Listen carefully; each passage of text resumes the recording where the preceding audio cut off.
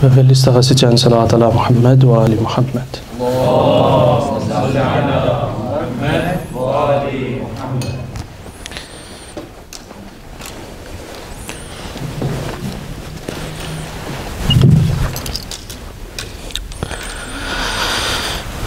أعوذ بالله السميع العليم من الشيطان اللعين الرجيم. بسم الله الرحمن الرحيم. الحمد لله رب العالمين ثم الصلاة والسلام على أشرف الأنبياء والمرسلين. حبيب إله العالمين سيدنا ومولانا وشفيع ذنوبنا وطبيب نفوسنا وحبيب قلوبنا أبي القاسم المصطفى محمد.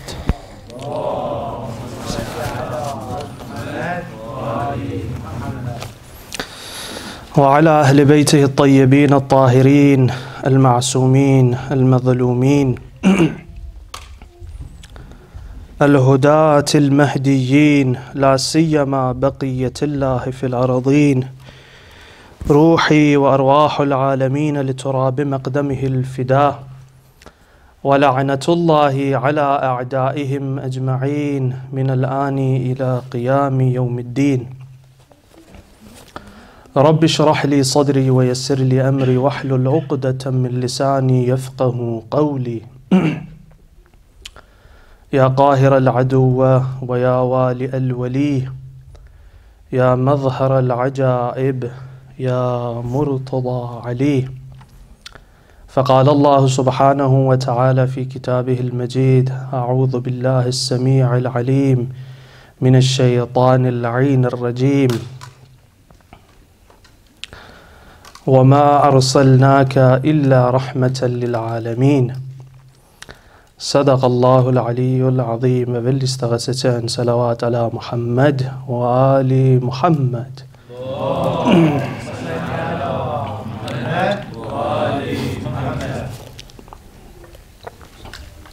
Først og fremmest, så lykønsker vi hele den islamiske umma.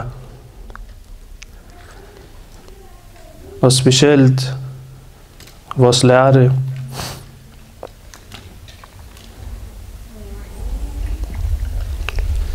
og vores tids imam Ajalallahu ta'ala farajahu sharif Hujjat ibn al-Hasan salawatullah alayh روحي وأرواح العالمين لتراب مقدمه الفداء og hans bedstefaders fødsel.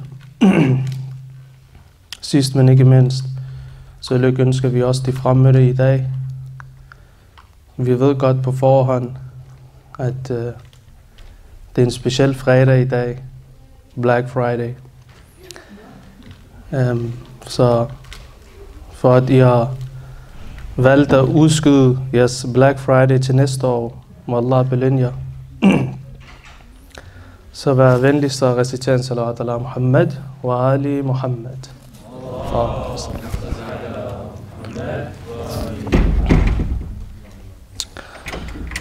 Da vi har kort tid, og vi skal snakke om to kæmpe personligheder. Den ene er selvfølgelig den hellige profet, sallallahu alaihi wa alihi og hans barnebarn, Imam Sadiq, salawatullah alayh.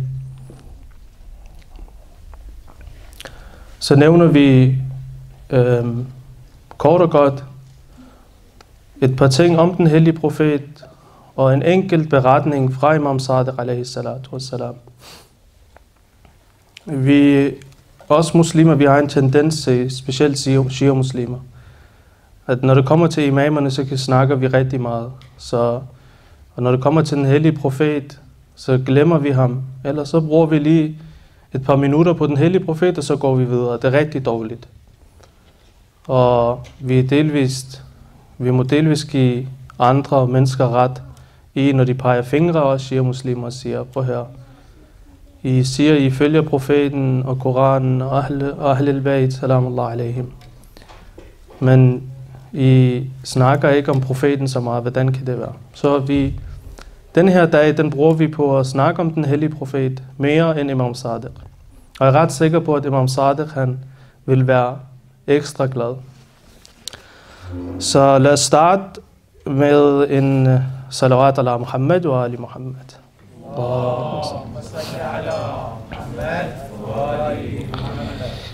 Hvad skal man sige om den hellige profet?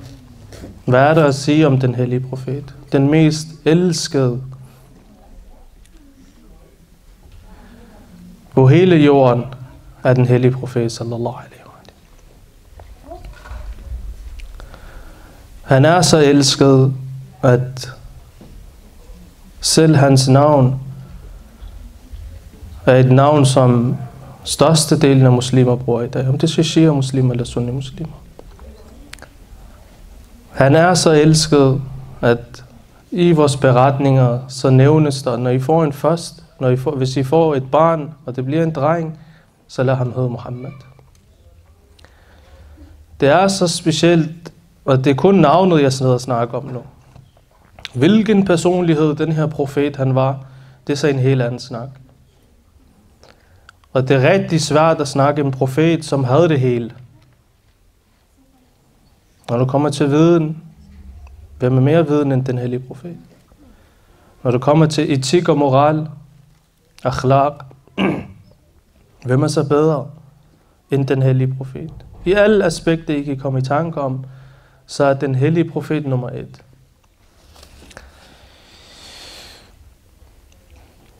Hvordan kan det så være, at den her profet, han er så speciel? Vi har jo rigtig mange andre profeter også. Men hvorfor lige præcis den her person? Hvorfor er det, han er så speciel? For at kunne svare på det her spørgsmål, så vender vi tilbage til den hellige Koran. Jeg har nævnt flere gange, at Koranen er førstehåndskilde. Og hvis man skal vende tilbage til noget i islam, så først og fremmest er det den hellige Koran. Og det er også det, vi gør i dag, eller i aften. Vi vender tilbage til den hellige Koran, og så ser vi, hvordan Allah, den almægtige, han snakker til sin profet. Hvis vi vil gerne vil vide noget om den hellige profet, lad os se, hvad Gud han siger om ham. Rigtig mange vers,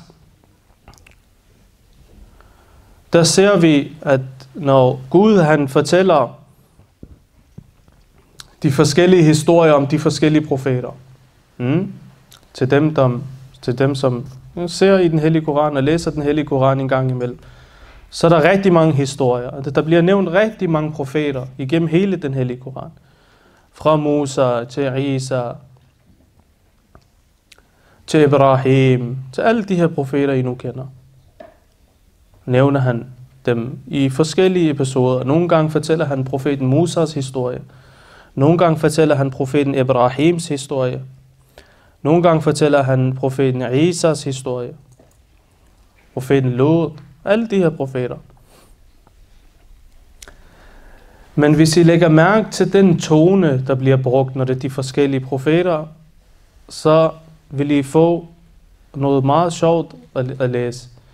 Når det kommer til for eksempel profeten Musa i surah Taha, så nævner Gud direkte ved navn Ja Musa.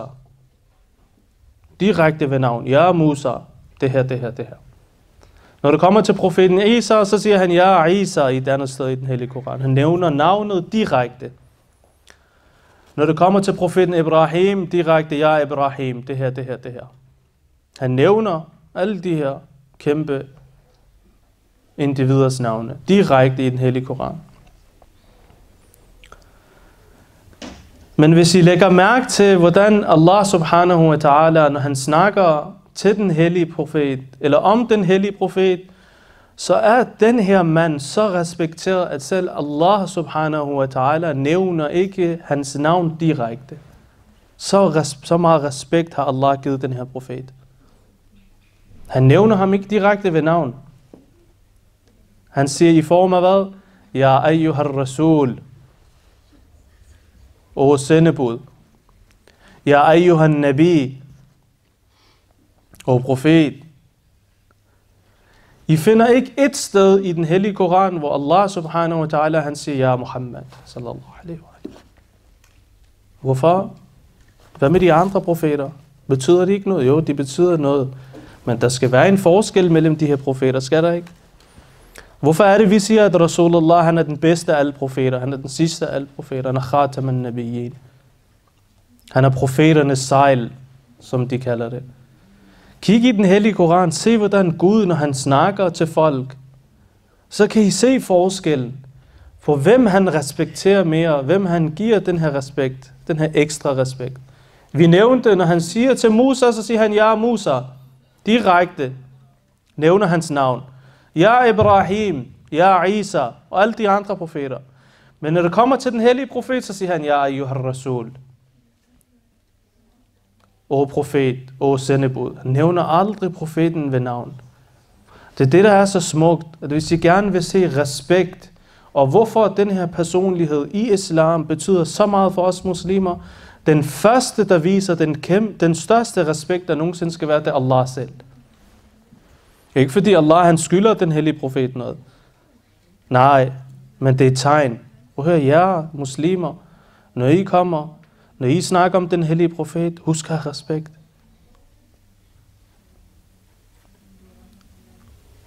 Det var så vigtigt for Gud. Det var så vigtigt for Gud, at nævne den her profet Ja ayyuhar rasul, Ja ayyuhar nabi. Hvorfor ikke ved navn? Er det respektløs Gud, hvis du havde gjort det? Nej, det er jo ikke respektløst. Vi ser alle de andre profeter, der nævner han deres navn. Men når du kommer til den sidste profet, så er der lidt mere specielt over den her profet. Vær venligst at recitere en salat ala Muhammad og ali Muhammad.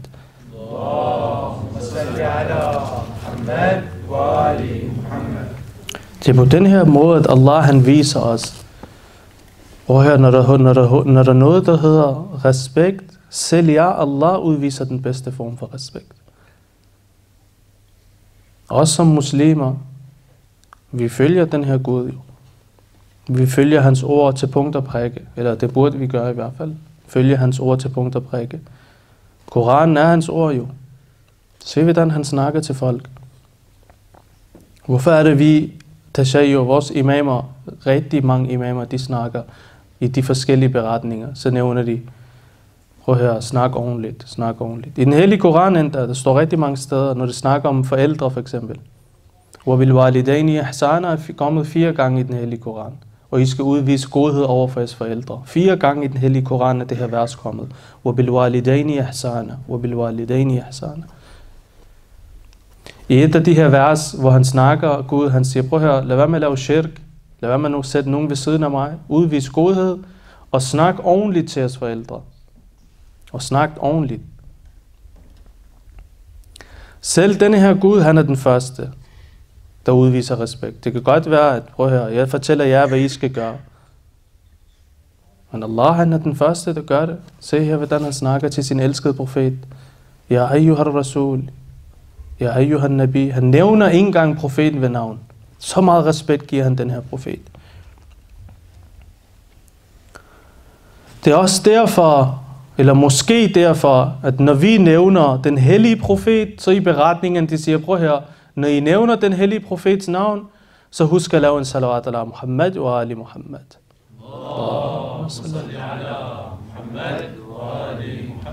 Jeg nævnte ikke hans navn. Hvorfor siger I salawat? Hmm? Det er så vigtigt, at Allah subhanahu wa ta'ala, han siger, prøv at høre jer mennesker. Når I nævner den her profetens når I nævner den her, jeg elsker mest på hele den her jord, så lav en salawat. Det er det her, inna Allah wa malaikatahu yusalluna ala nabi, det her vi læser efter hver bønderne. Den her specielle salawat, hvor vi ser, Allah send din velsignelser over den her person. I et andet sted i den hellige Koran, så spørger så Allah han fortæller os, prøv at høre, den her profet, han er mere end værd end jer selv. Han er aula. Han er mere værd end jeg selv. Alle de her mennesker, de siger, ja, 100%. Det er også sådan, vi muslimer er i dag. Tror vi ikke på, at profeten han er mere, end værd, han er mere værd end os selv? Så siger vi jo, 100%. Det er derfor lige så snart, der er nogen, der snakker dårligt om den hellige profet, så bliver vi helt varme op og køre. Skal ikke snakke sådan her om den hellige profet. Eller lad mig sige det på den her måde. Det burde vi i hvert fald gøre. Den, der er elsket mest over alle, det er den hellige profet. Allah, han elsker ham mest. Når det kommer til os muslimer, om, om det er i dag eller i morgen, så er der en eller anden, der tegner den hellige profet i en dårlig tegning, og så er der kun et par få muslimer, der lige råber og skriger, og så falder det helt til ro igen. I den hellige Koran, der nævner Gud, prøv her, den her profet, han er mere værd end jer. Og det er også derfor, at vi ser ham som verden mest elskede. Hvorfor? Fordi Allah ser ham som verden mest elskede. Og hvis vi shia muslimer vender tilbage til en, og vi skal vende tilbage til en, så er det Rasulullah sallallahu alaihi wa alaihi. Imamerne kommer efterfølgende. Det er korrekt. Imamerne har også en kæmpe status hos os. Der er ikke nogen, der har en større status end Rasulullah. Og det her det er rigtig godt, at det her det bliver optaget. Hvorfor? Fordi der er rigtig mange, der tror, at prøv her, jeg er shia-muslimer. I tror ikke på den hellige, øh, den hellige profet så meget, som I tror på Ali og alle de andre imamer. Nej, det er ikke sådan, det er. Vi siger, og vi mener, og vi tror på, at der er ikke nogen, der er højere end den hellige profet, sallallahu alaihi Alle mennesker, de kommer som nummer to. Der er ikke nogen, der er højere end den hellige profet. Og I skal have det her i mente. Vi muslimer, vi glemmer det rigtig tit. Især specielt også shia-muslimer, vi glemmer det. Hvorfor? Fordi vi har med alle mulige andre ting at gøre. Den ene dag er det den her imams fødsel, den anden er det den her imams martyrdom, alle de her ting. Så vi glemmer Rasulullah rigtig meget. Og vi glemmer rigtig tit, at prøv at høre, den der sørger mest over os alle sammen, det er den hellige profet, når det kommer til de her sørgedage. Og den, der glæder sig mest, det er også den hellige profet.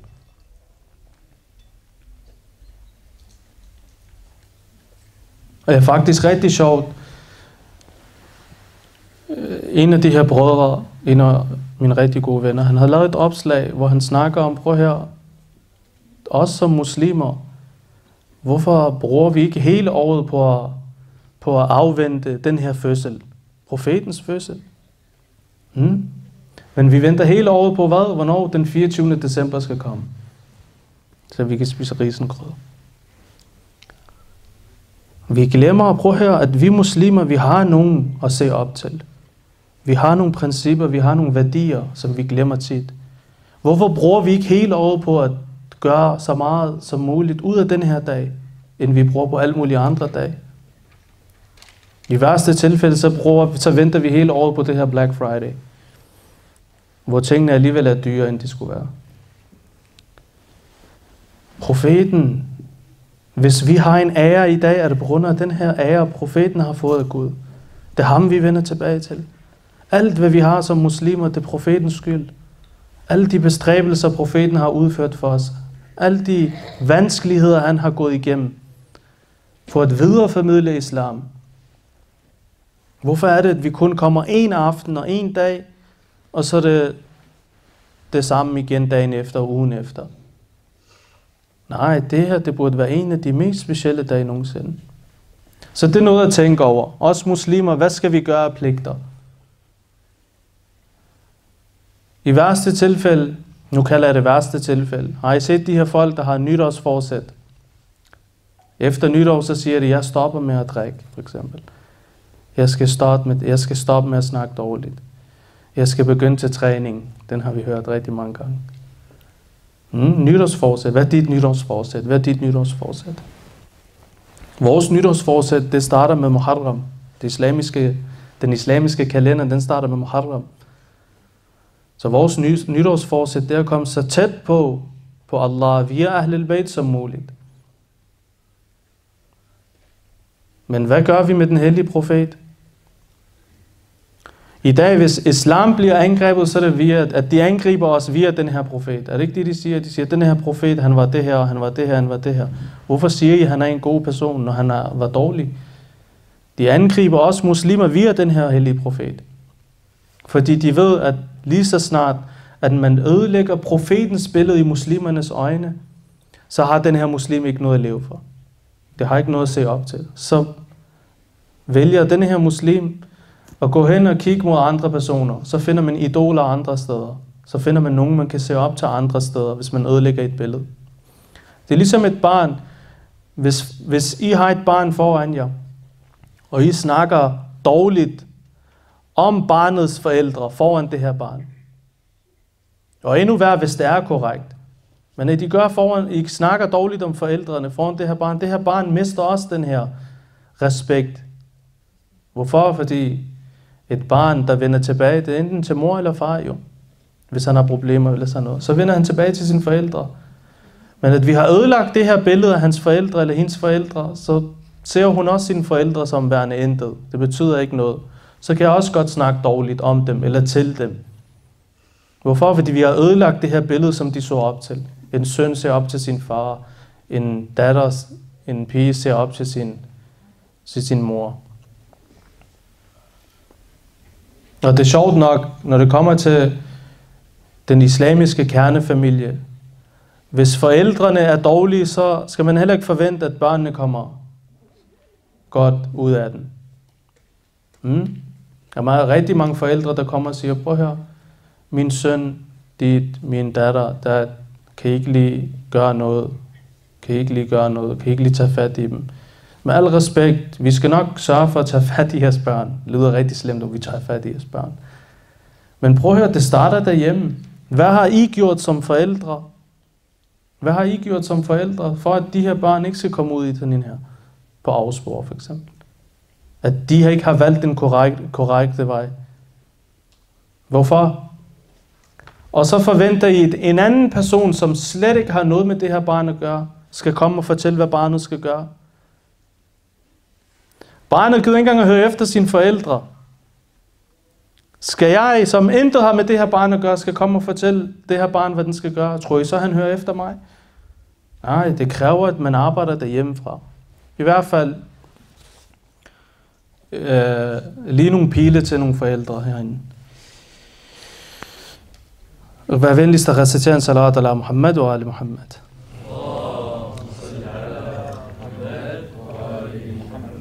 Jeg startede talen med et vers fra den hellige Koran. وَمَا رَسَلْنَاكَ إِلَّا رَحْمَةً لِلْعَالَمِينَ Rigtig, rigtig, rigtig smukt står det her vers også her om bagved.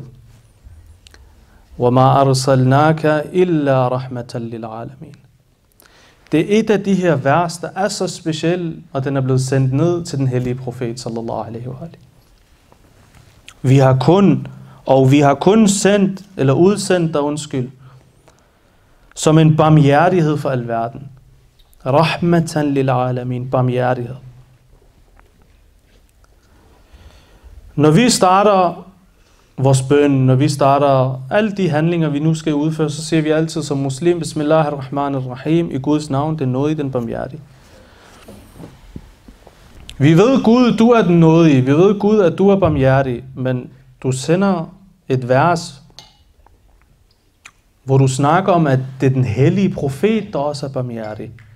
Hvor man arsalnaka, vi har kun udsendt dig som en barmhjertighed.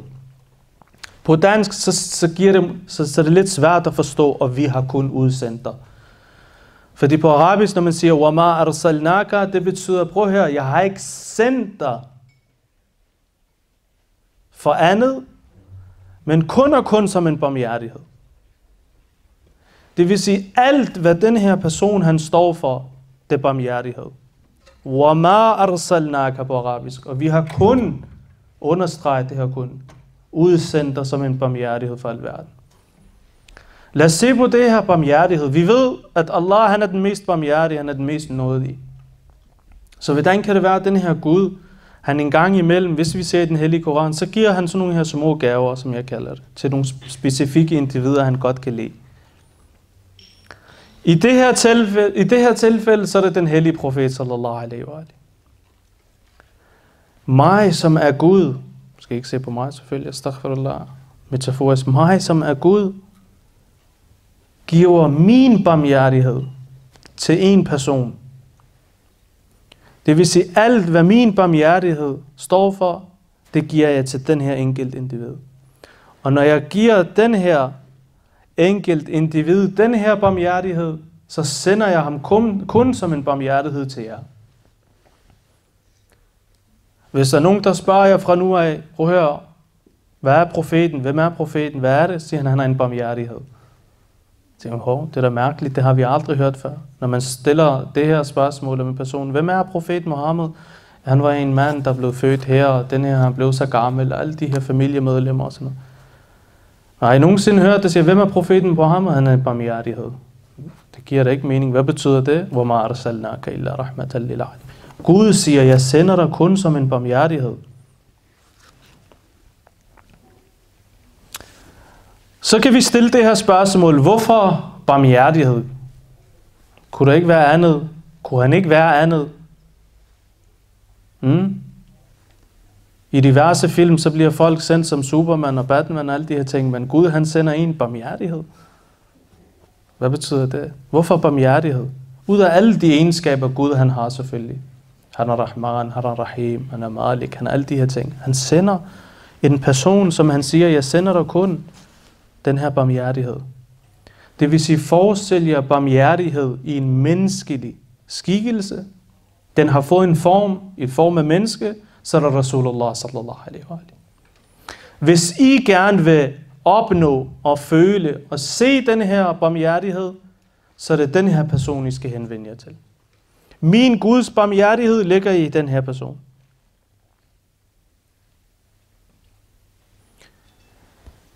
Hvis Gud han gerne vil have, at vi skal have den her barmhjertighed, så fortæller han også, prøv her, hvor kan I få den her barmhjertighed? Os mennesker, som er bange for efterlivet, vi søger hele tiden efter den her barmhjertighed. Siger Gud, inshallah, når jeg kommer til domsdag, og jeg skal stå for regnskab, så se på mig med dine barmhjertige øjne.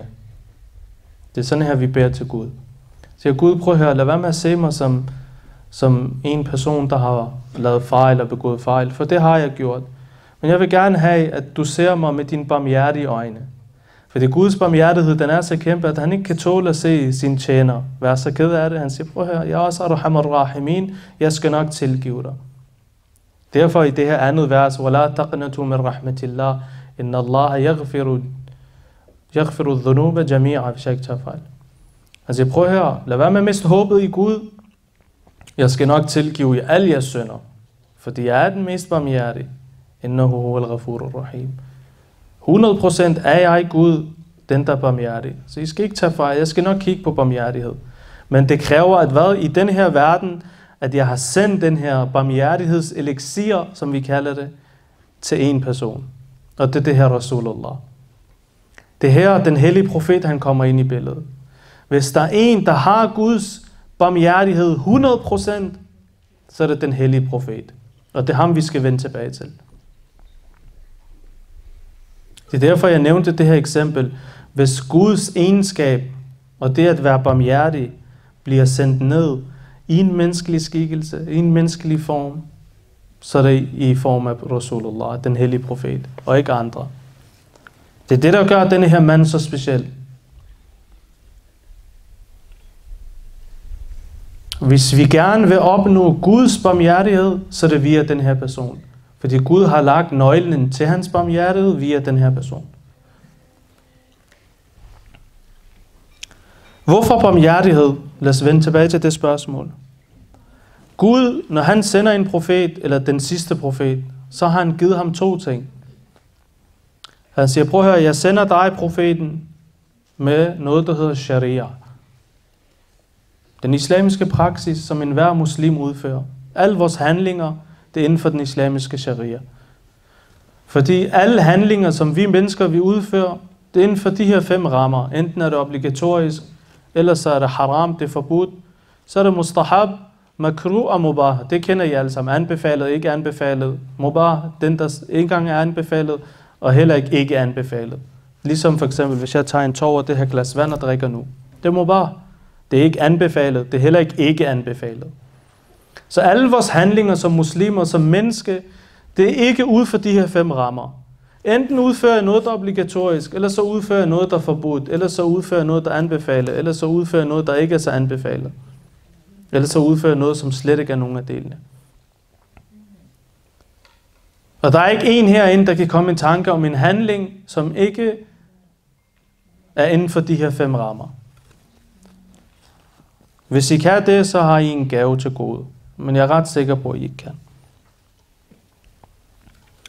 Så Gud har givet den her sharia som en gave til, til menneskeheden. Så jeg prøver her, Rasul, når jeg sender dig, så sender jeg dig med en pakke, som vi kalder sharia.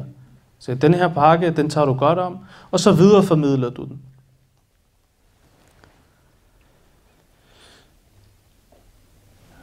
Hvis vi lægger mærke til den her sharia, så er der nogle af de her regler inden for den islamiske sharia, som kræver, at man har en islamisk hukuma, eller en regering på dansk. Nogle af de her regler for den islamiske sharia kræver, at man har en regering. Det er derfor for eksempel i et land som Danmark, hvor vi ikke har en islamisk regering, så kan man ikke udføre nogle af de her lov, som kræver en regering, en islamisk regering, hvilket vi ikke har. Det her vers, som der står bag i mig, وَمَا رَسَلْنَاكَ رَحْمَةً لِلْعَالَمِينَ Hvis I slår op i den hellige Koran og ser versene før den her, før det her vers kommer, I ser nogle af de her vers, der er før den, så er det rigtig sjovt, at Gud han snakker om, prøv at høre, jeg har lovet jer en regering. Jeg lover jer en regering, og jeg sender også en sharia. Og så siger han det her vers, وَمَا أَرْسَلْنَاكَ إِلَّا رَحْمَةً لِلْعَالَمِينَ ud fra de her vers forstår vi, prøv her, at Guds barmhjertighed, det ligger i en person, der skal videreformidle islam. Nummer to, at han skal, lave, han skal oprette en islamisk regering. Og også som shia-muslimer, den her regering, den kommer også, inshallah, når imam al-hujjah, أجل الله تعالى فرجه الشريف أمين لستغيث صلوات الله محمد وآل محمد اللهم صل når imamen han kommer, så får vi også den her lovede regering, inshallah. Så en person, som skal videreformidle islam og skal lave en regering, det er en person, som Guds barmhjertighed ligger i. Ergo Rasulullah, hvad gjorde han dengang, han fortalte folk i Mekka og Medina, jeg er sendt af Gud, jeg er jeres profet, der er nogle lov og regler, som I skal følge, når I skal være muslim nu. Det er sharia.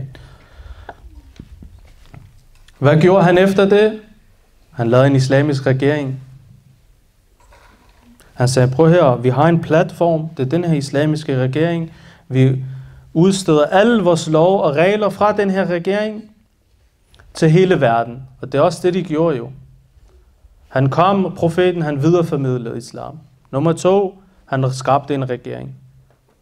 Så hvis vi lægger mærke til de her vers, der er før det her vers, der står bag i mig, så har profeten gjort lige præcis nøjagtigt. Og det er derfor Gud, han nævner, وَمَا أَرْسَلْنَاكَ إِلَّا رَحْمَةً لِلْعَالَمِينَ Og vi har kun udsendt dig som en barmhjertighed.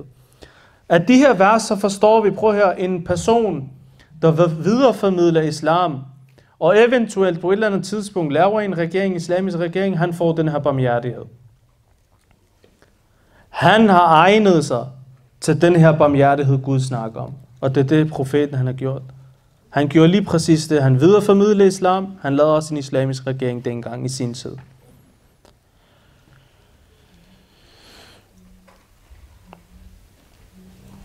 Reciten salat ala Muhammad wa ali Muhammad.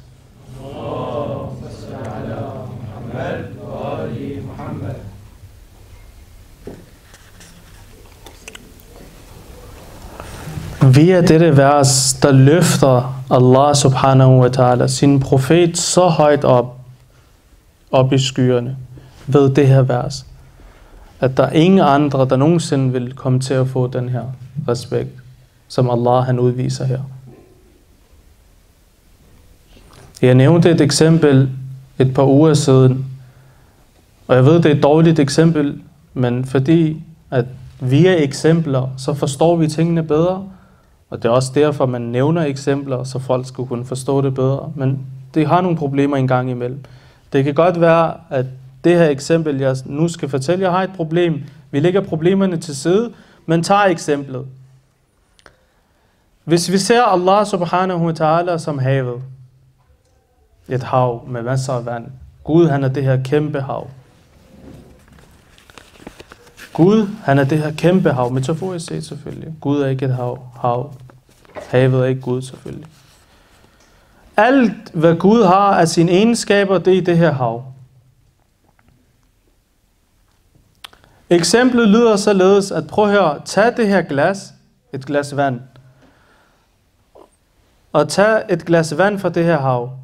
Alle de ting, I finder i havet, det finder I også i glasset her.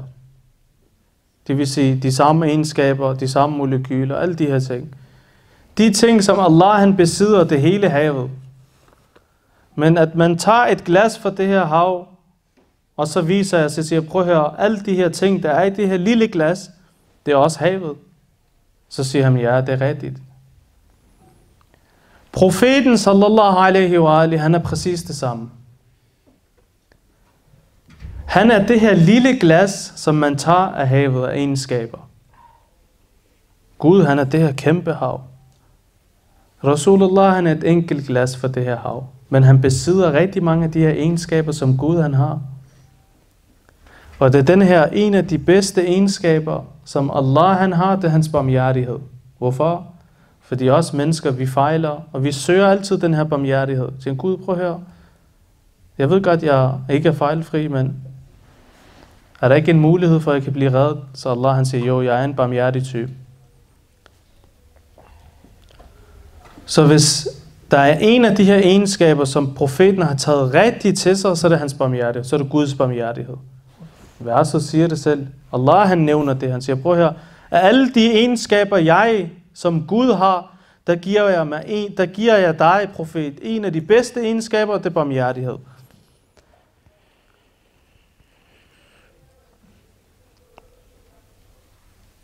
Hvor ser vi den her barmhjertighed? Okay, nu har vi forklaret. Prøv at høre. Gud, han er barmhjertig. Profeten, han er også barmhjertig. Men hvor ser vi den her barmhjertighed i den her profet, I snakker om? Hvor ser vi den hen? Lad mig give et rigtig, rigtig smukt eksempel på, hvilken slags type den her profet var. I Nahjul Balaga, så finder man en khutba, en prædiken fra Amir al-Mu'minin, Ali ibn Abi Talib, salawatullah alayhi, hvor han nævner nogle af de egenskaber, som den, som den hellige profet han havde. Til jer, som gerne vil se, hvilken slags type profeten var, så vend tilbage til Nahjul Balagha, khutbah nummer 108, så jeg ikke tager fejl. Nævner han rigtig smukt, rigtig mange ting, hvilken slags type den hellige profet var. En af de første ting, han nævner, som er rigtig smukt, han siger, den hellige profet, han er tabibun dawarun bitibbihi. Tabibun dawarun bitibbihi. Han siger, profeten er den her læge. Tabib, en læge. Dawarun bitibbihi. Ved I, hvad det betyder? Det vil sige, det er ikke bare en læge, der bare sidder og har sit kontor, hvor folk de henvender sig til ham, når man er syg. Nej, den her profet, han er en læge, tabibun, dawarun betribbihi. Det er en læge, som virkelig bestræber sig for at finde en person, som er syg, spirituelt syg. Det er den her profet. En profet, som bestræber sig for at gå ud og finde en, som han kan Vend tilbage til de gode menneskelige, menneskelige egenskaber. Han siger, prøv at høre, I mennesker, I har nogle problemer indvendigt. I har nogle sygdomme indvendigt. Sjælelige sygdom. Jeg, som er en profet, jeg går ud og leder efter jer. En profet, der virkelig bestræber sig på at finde folk, der er syge, og så sige til dem, prøv her, lad være med at være hovmodig, lad være med at være hasud, lad være med at være jaloux. Hold kontrol, kontroller jeres vrede, hold jeres vrede ned. Alle de her gode etiske egenskaber. Prøv at se, hvor smukt Amir al-Mu'minin, han siger, han siger, Tabibun dawarun bitibbihi. At profeten, han var sådan en her type. At han gik ud og ledte efter folk. Og ledte efter folk for hvad? For at vende, fortælle dem folk, prøv her, I har en sygdom, vend tilbage. Jeg som er en læge, og jeg forstår jeres sygdom. Jeg har medicinen på det. Det er denne her slags person, vi har med at gøre. En profet, som virkelig gik op i, at folk skulle vende tilbage til de gode menneskelige egenskaber. En læge, som gik ud for at finde de syge, og ikke at man bare ventede på, at folk skulle henvende sig til ham. Nej, han gik ud, en læge, en person, en profet, der bankede på folks døre for at fortælle dem om de gode menneskelige egenskaber. Det er sådan her, vi også skal være. Vi ser profeten som det bedste idol, jo. Vi ser op til den her profet. Os muslimer specifikt. Vi skal ikke vente på, at der er nogen, der henvender os til os. Og siger, prøv at høre bror, prøv at høre søster. Jeg har de her problemer. Er det muligt? Nej.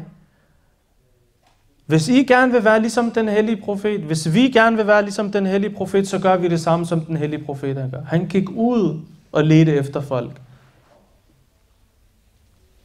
Han vidste, at der var nogle indre sygdomme. Han vidste, at der var nogle folk, der havde de her sygdomme. Han gik ud for at fange de her folk på gaden. Så jeg prøv at kom, lad mig fortælle dig om det her. Hvorfor er vi ikke sådan nogle her mennesker?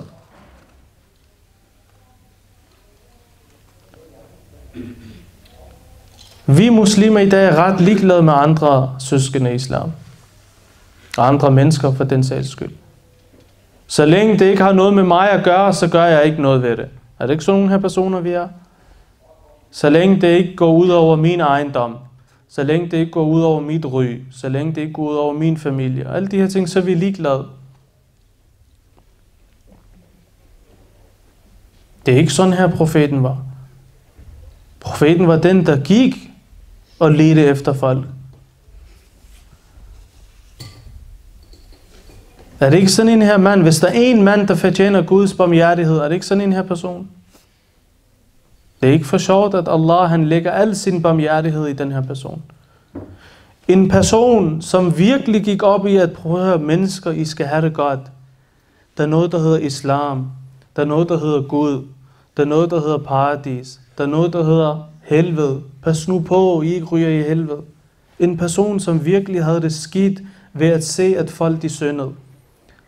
Hvis det er mig i dag, så jeg ser en person, der synder, så det er lige meget, der har ikke noget med mig at gøre. Jeg påbyder ikke engang det gode, eller forbyder det onde. Jeg kan være ligeglad, det har ikke noget med mig at gøre. Men sådan her var profeten ikke. Den profet, vi siger, vi elsker, og vi følger. Sådan her var den her profet ikke. Han havde det dårligt, når han så folk, i syndet. Han græd om aftenen, fordi at der er nogle folk, der skulle i helvede. Og det, den, den vej, de havde valgt, var den forkerte vej. Tabibun dawarun bi tabbihi. Det er sådan en her læge, vi har brug for i dag.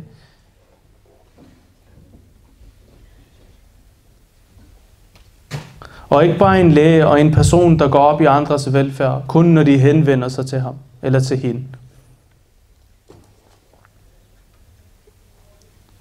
Det her det er også en pointe til alle dem, der studerer herinde, for eksempel. Så prøv at høre, I studerer, I har valgt de her forskellige linjer, I studerer. Men har I valgt dem baseret på jeres egne lyster? Eller har I valgt dem baseret på, at prøv at høre, islam og muslimer og mennesker vil få gavn af den her under, uh, det her studie, jeg har valgt? Vi har, hvis I har valgt det her studie baseret på jeres egen lyster, så ender det også med i sidste ende, at prøv at høre, hvis det ikke har noget fordel for mig og mit studie, så er jeg også ligeglad. Det ender det med. Men hvis man har et større formål og et større billede med de her studier, så gavner det jer, både i den her verden og i næste 100%. En person, som studerer medicin, vælger medicin på baggrund af hvad? Udover selvfølgelig, at forældrene vil have, at man skal blive læge. Udover det.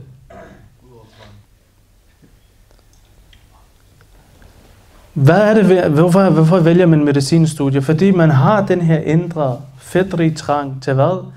Til at hjælpe andre. Mm, er det ikke det, læger gør? De hjælper andre selvfølgelig. Og ikke fordi, at man tænker, at læger de tjener 30.000 plus, og det er derfor, jeg vælger medicinstudie. Nej, man vælger et studie, fordi det ligger tæt på en. Og dem, der studerer medicin, så har de også den her gemt i hjertet, selvom de måske ikke ved det nu selv. Men det har gemt i hjertet. Prøv at høre, når jeg bliver færdiguddannet, så vil jeg gerne give igen. Jeg vil gerne hjælpe mine søskende.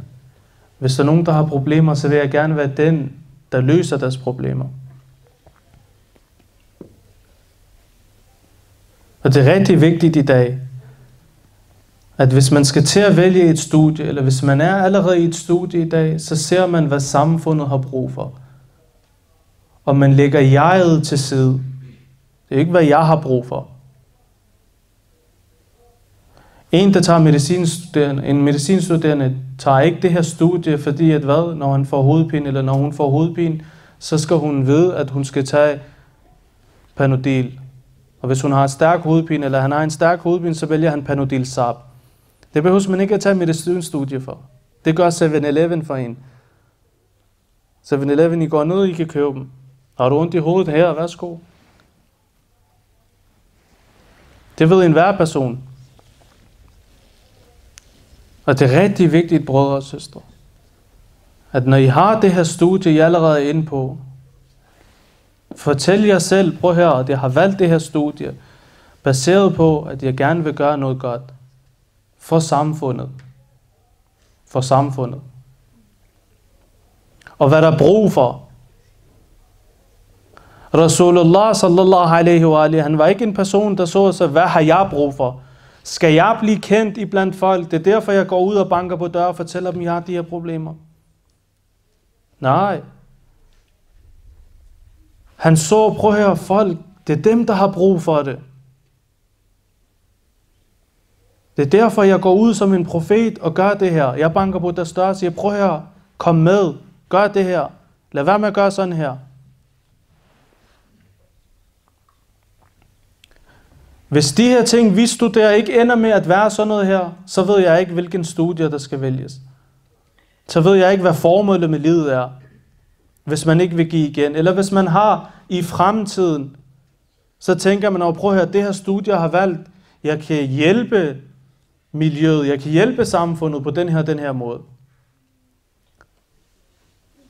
Se, hvad der er brug for at vælge det.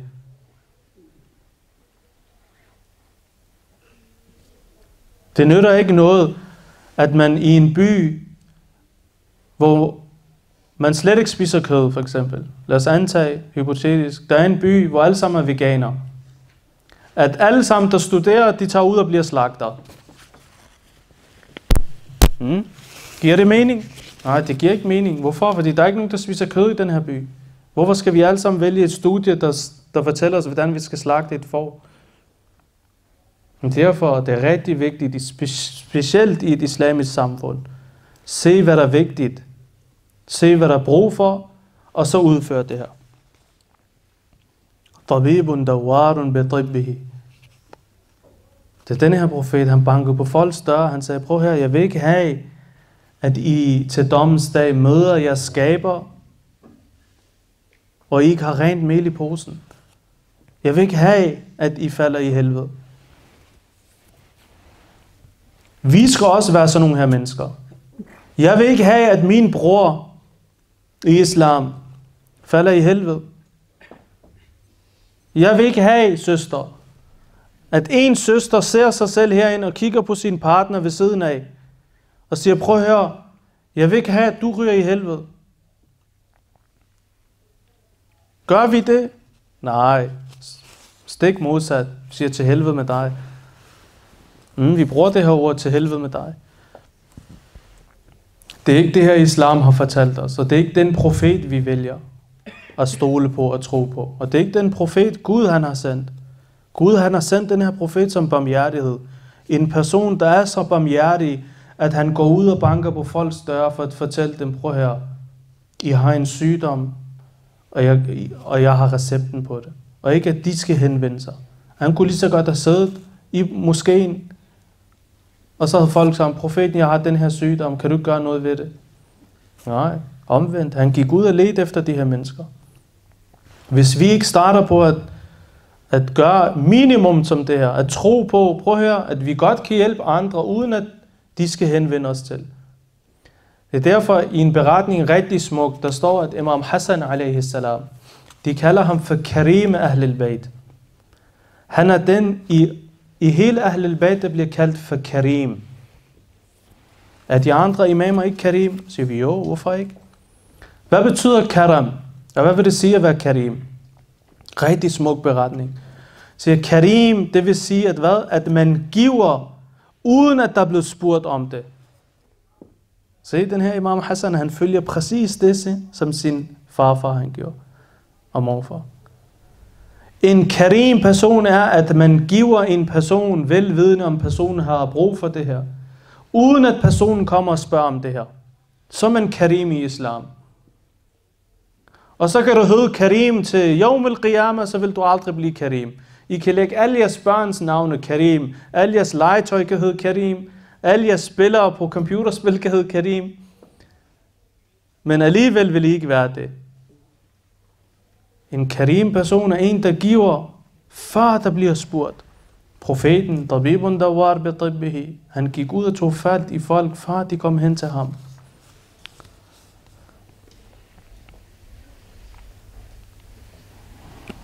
I hvert fald, der er rigtig meget at snakke om, når det er den hellige profet, men fordi vi ikke har så lang tid tilbage, så vil jeg også gå i gang med at snakke lidt om Imam Sadiq alaihi salam, fordi det er også hans fødsel, så vi venligst recitere salat ala Muhammad og ali Muhammad.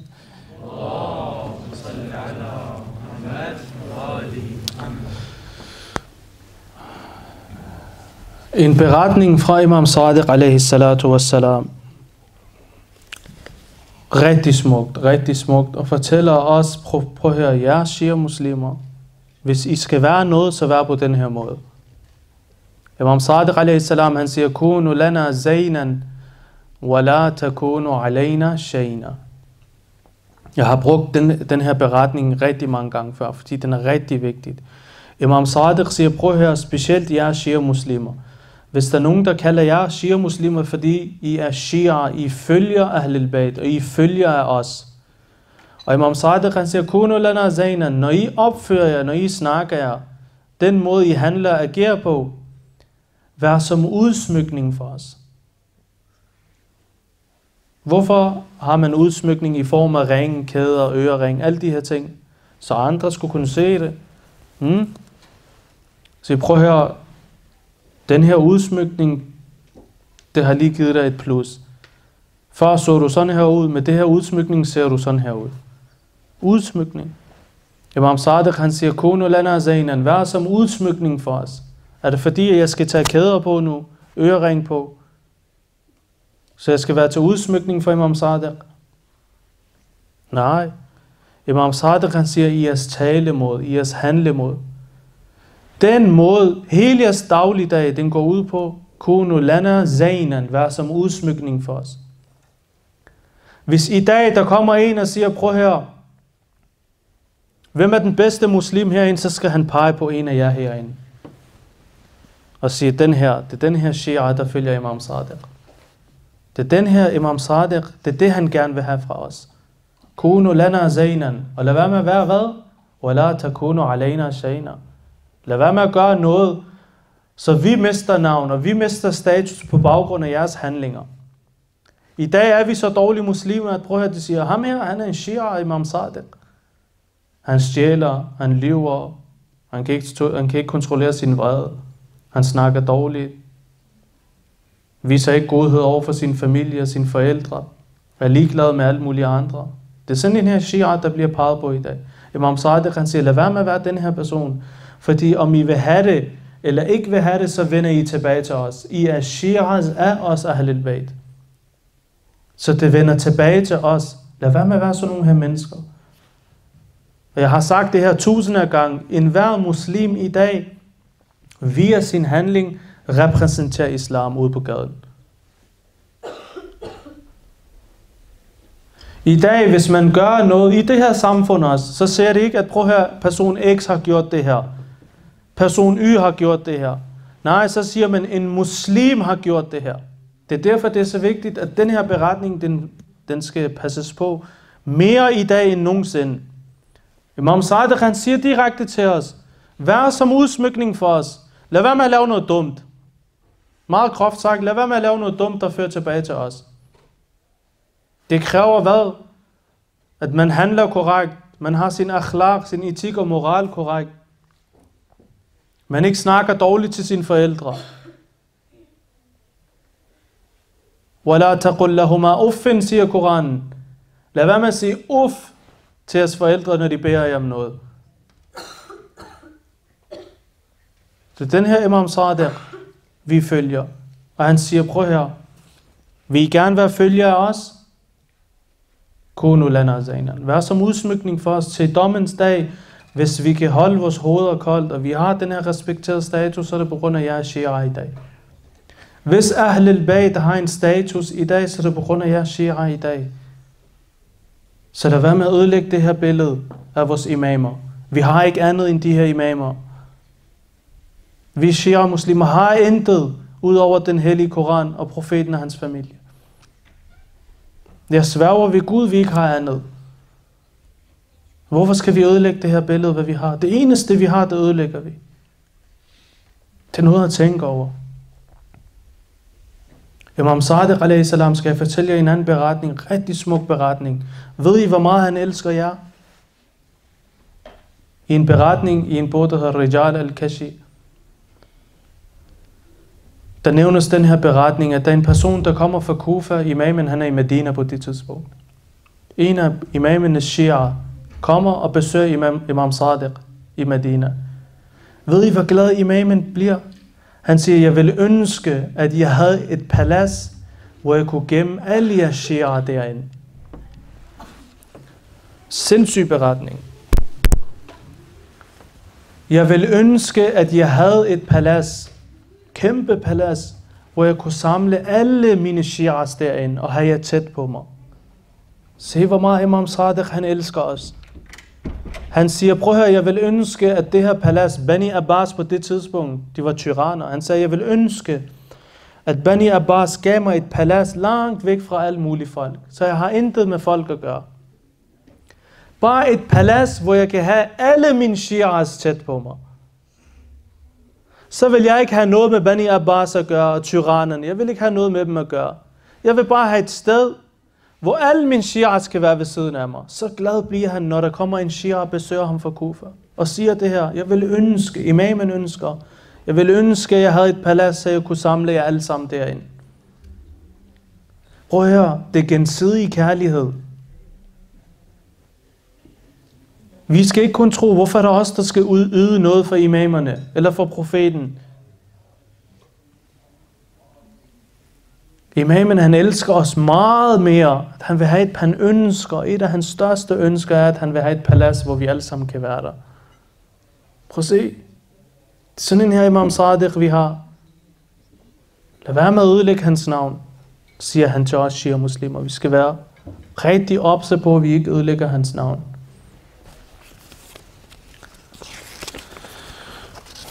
Læs en salat ala Muhammad og ali Muhammad. Jeg afslutter i dag med et andet smukt vers fra den hellige Koran, der fortæller os om Rasulullah sallallahu alaihi wa alihi.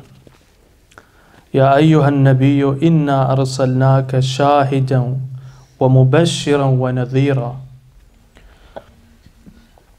وداعيا إلى الله بإذنه وسراجا منيرا Se hvor smukt det er. وداعيا إلى الله بإذنه وسراجا منيرا O profet, vi har sandelig sendt dig som et vidne, som forkynder af det glædelige budskab og som advarer. Mubashiran wa nadhira, det er det her. For jer troende, så giver han jer den her glædelige nyhed. Prøv at høre, der ventes noget rigtig godt i efterlivet. Og han er også en advar på det samme tidspunkt. For dem, der ikke er troende, jeg advarer jer. Mubashirun wa nadhira. وداعيا إلى الله بإذنه والسراجا منيرا Og som en, der kalder til Allah med hans tilladelse, og som en lysende lampe. وَالسِّرَاجًا munira. Brødre og søstre, hvis alt går ned ad bakke i jeres liv, hvis alt ser sort ud, så vend jer tilbage til en person, og det er Rasulullah sallallahu alaihi wa Han er sirajam munira, han er den lysende lampe. Hvis alt er mørkt rundt om jer i hele verden, vend tilbage til den her lampe, og det er Rasulullah. Gud sender ham som den her lampe. Prøv at der lyser ikke kun hele verden op ved sin ankomst. men lyser alle de troendes hjerter. Fjerner al den depression, vi har. Fjerner alt det sorte og det mørke, vi har. Han er den lysende lampe. وَالسِّرَاجًا munira. Hvis alt ser sort ud, vend tilbage til den her profet. Han er den lysende lampe. Hvis alt ser sort ud, så er det ham, der hvad? Der viser jer vejen. Ligesom en person i mørke, han har en lampe og viser jer vejen. Allah han siger, den der viser jer vejen til det korrekte, det er den her profet. وَالسِّرَاجًا munira.